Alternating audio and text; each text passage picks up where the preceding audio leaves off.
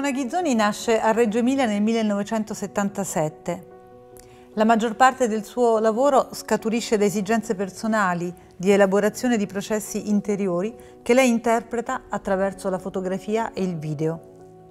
Così ad esempio è nato il suo lavoro autobiografico sui disturbi alimentari, oppure la serie di autoritratti Aftermath e Rayuela. Una tensione a impiegare una narrazione personale partecipativa a tratti fantastica è senza dubbio il tratto distintivo delle sue realizzazioni. Simona Ghizzoni ha spesso partecipato come speaker durante i TEDx e tiene seminari e workshop in diverse scuole e università in Italia e all'estero. La prima domanda è d'obbligo, come hai cominciato, come ti sei avvicinata alla fotografia? Mi sono avvicinata alla fotografia principalmente all'inizio da un punto di vista teorico perché ho studiato a Bologna col professor Marra, mi sono laureata in storia della fotografia e quindi uno dei miei sogni era quello di lavorare come ricercatrice.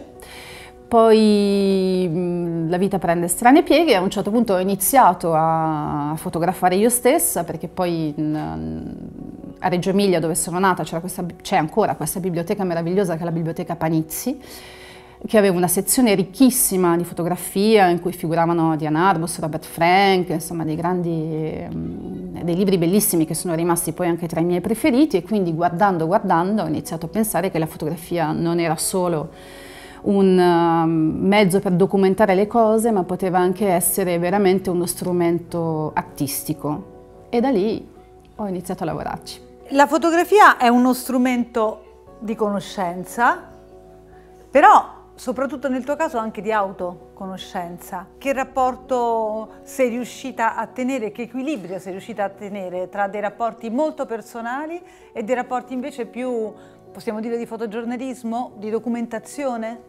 Direi di documentazione sicuramente, ehm, più che di fotogiornalismo. Questo perché Quasi tutto quello su cui ho lavorato parte da ragioni autobiografiche, sia la parte più personale, quella in cui indago la mia di esistenza, sia quella l'altro grande filone a cui lavoro che è quello principalmente dei diritti delle donne. No? Quasi tutti i temi che ho affrontato sono nati da, appunto, da esigenze molto profonde. Il primissimo lavoro infatti di, di indagine sociale che ho fatto riguarda i disturbi alimentari e disturbi alimentari sono arrivati a me anche attraverso la fotografia, ma perché io ne avevo sofferto in adolescenza per molti anni, quindi è stato mm, quasi insomma, istintivo no? decidere di provare a lavorare su questo tipo di temi.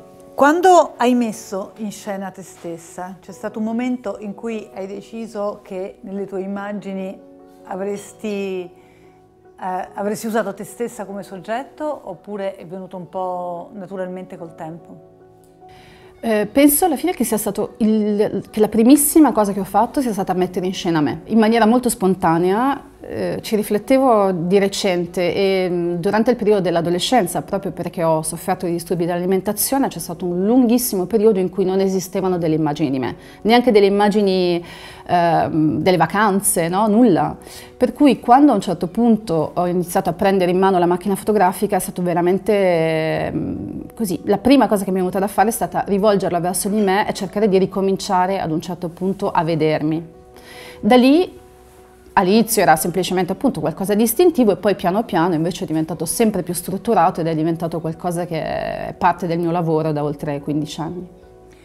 E eh, tu metti te stessa, però ad esempio anche ti, ti, ti situi in determinate situazioni, quindi eh, tutto l'apporto e anche per così dire la, la, la, la drammaturgia che tu crei per ogni immagine come nasce ad esempio il, il famoso abito, abito rosso, eh, quanti abiti rossi eh, hai utilizzato per le tue Innumerevoli, immagini? ormai sono innumerevoli negli ultimi, negli ultimi 15 anni. Dunque la drammaturgia eh, parte innanzitutto da una visione che io ho, quindi da un, qualcosa che immagino, spesso poi vado anche a comprare degli oggetti o in altri casi decido prima la location. Quello che accade invece eh, appunto mentre scatto l'immagine è qualcosa che ha più a che fare con, quasi con un atto sciamanico, con qualcosa che io non ho completamente presente, non so come dire, parto, inizio a fare delle cose e la performance mi porta alle volte anche in luoghi molto lontani da quelli che avevo immaginato. Eh, in alcuni tuoi lavori, penso ad esempio alla Rayuela, eh, c'è la compresenza di tanti elementi, anche naturali, animali, che hanno appunto una, una presenza eh, ovviamente simbolica e anche, e anche un po' ricorrente. Ecco, vorrei che ci parlassi di questo tuo mondo magico. Sì, le serie che io chiamo di autoritratto in realtà non comprendono mai soltanto me, eh, tranne fosse in una delle mie primissime serie, In Between, ma comprendono proprio un mondo, no? che è il mondo che reimmagino, che reinvento eh, negli anni, perché i, i la primissima serie Aftermath è del 2006, eh, quindi appunto sono ormai molti anni che mi occupo di questa Ehm, di questo tema che poi alla fine più che tema ormai lo chiamo un'ossessione. Um, I simboli che utilizzo, comunque il, i, i, mondi che immagino, uh, spesso contengono natura e animali, questo proprio per una mia relazione viscerale con la natura che deriva anche da, ancora una volta da questioni autobiografiche, familiari, eh, i miei nonni, tutta la mia famiglia materna erano contadini, quindi io sono cresciuta in una famiglia che aveva una relazione molto stretta, molto importante con la natura e che ha sempre rappresentato un po' il mio rifugio, un po' il posto in cui eh, stavo bene. E a quel posto cerco di continuare a tornare anche attraverso le immagini. E la giraffa? Beh, la giraffa è uno dei miei animali, eh, degli animali che preferisco, credo assieme ai fenicotteri che sono veramente ricorrenti nel mio lavoro. La giraffa è... Um, in una delle primissime immagini in cui l'ho fotografata rappresentava una sorta di grazia fuori posto. E, mentre la fotografavo non lo sapevo, ma negli anni poi questa immagine è rimasta con me e ho iniziato a guardarla anche io pensando che rappresenta molto come mi sentivo io dopo l'adolescenza. E poi la giraffa è anche uno, un animale che ha una storia interessantissima, eh, la lessi in un libro che si chiama Zarafa ed è la storia di questa prima giraffa che arrivò in Europa, che venne quindi caricata su una nave dall'Egitto, portata a Marsiglia e da lì iniziò a risalire la Francia mi immagino no? anche l'espressione delle persone, ma anche che come si doveva sentire questa giraffa, no? quindi dalla meraviglia degli esseri umani che la stavano vedendo, ma il senso di spaesamento di questo animale, quindi da sempre per me rappresenta lo spaesamento. Dunque tu hai scritto che la fotografia per te è esperienza vitale e che è memoria.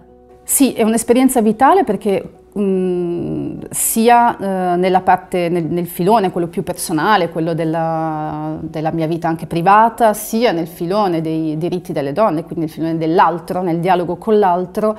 Eh, per me la questione principale è proprio l'esperienza che io vivo, prima ancora del risultato finale in immagine, per me il momento più bello è quello dello scambio, quello della, de, dell'incontro. Sì, l'aspetto della memoria invece è quello che un po' ti raccontavo prima, nel senso che quello che ho notato è che ci sono dei buchi anche nei miei album di famiglia eh, che rappresentano anche dei momenti molto difficili per me. E mi dispiace non avere memoria anche di anni difficili, per cui sicuramente la fotografia, poi soprattutto nella parte dell'autoritratto, è arrivata quasi a tenere no, un ricordo delle cose, anche dei momenti non, non felici, ma comunque un ricordo, una memoria, una presenza, una traccia di cose che sono accadute. Tanti progetti sono quelli che tu hai fatto, eh, hai usato anche fotografia, ma non solo fotografia, e hai usato anche video, quindi anche di questo poi se ci puoi parlare. E poi mi piacerebbe arrivare invece al tema della presentazione di un lavoro. Mm-hmm. Quando tu presenti un lavoro, il tuo rapporto con un'opera finita, con una dimensione anche, e ricordo anche che tu eh, per, non, non, per tutti i lavori, ma per alcuni lavori hai poi eh, lavorato anche manualmente sulle, sulle opere, quindi come appunto ribaltando l'idea della fotografia da un certo punto di vista, cioè il mezzo che è riproducibile per eccellenza, tu poi lo rendi unico, con un lavoro appunto di, di quasi artigianale, di arrivare sull'opera e, e lasciare una tua impronta. Allora, parto dall'ultima parte che mi chiedi. Allora, i miei progetti di solito finiscono per sfinimento, nel senso che lavoro per anni, alle volte anche decenni, alcuni sono quasi infiniti, per cui la mia decisione che l'opera è finita deriva dallo sfinimento essenzialmente.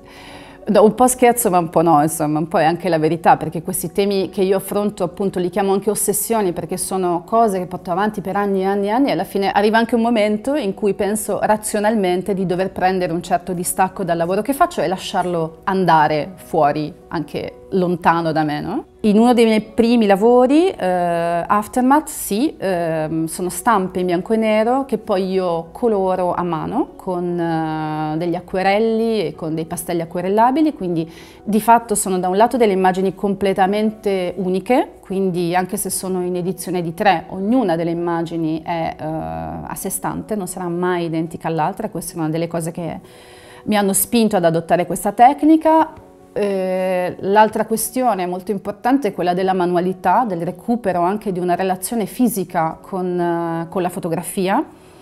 Io sono cresciuta comunque studiando camera oscura, quindi c'era una relazione molto potente con l'immagine che emergeva, con no? anche proprio la tua fisicità di come muovevi lo sviluppo, eccetera. Questa cosa ovviamente con la fotografia digitale è andata persa per buona parte, e si può, almeno per quanto mi riguarda, riesco a, a recuperarla, a sentire che la recupero facendo anche degli interventi sulle stampe finali. In un prossimo lavoro cucirò sulle stampe. Bellissimo. E il formato delle stampe? La tua opera finita è, è una stampa, ha un determinato formato. Il formato delle stampe per il momento è un formato piuttosto grande, queste che sono dipinte a mano sono degli 80 x 80 cm proprio perché mi piace l'idea di riuscire ad immergersi dentro la foto, quindi principalmente in questo momento um, le opere sono stampe di grande formato, in linea generale proprio su tutto il mio lavoro, però sto riflettendo anche su fare dei formati molto piccoli nel futuro. E stai anche riflettendo sulla possibilità di utilizzare per i tuoi lavori delle, delle soluzioni differenti, come ad esempio uno, sì, ultimamente mi sono appassionata all'editoria indipendente, ehm, alle fanzine sostanzialmente, perché mi sembra che siano mm, quello che più si avvicina a una forma di quaderno d'artista, quindi alla maggior forma di libertà che una persona, che un artista possa avere nel maneggiare il proprio lavoro. E ce l'abbiamo anche qua.